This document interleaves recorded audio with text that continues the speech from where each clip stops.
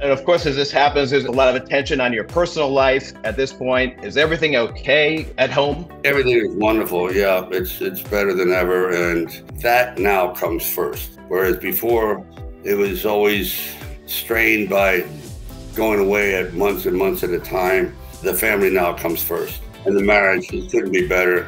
My wife is, you know, magnificent, very wonderful woman. She's super attentive, a great mother, great companion. So I'm a very lucky man.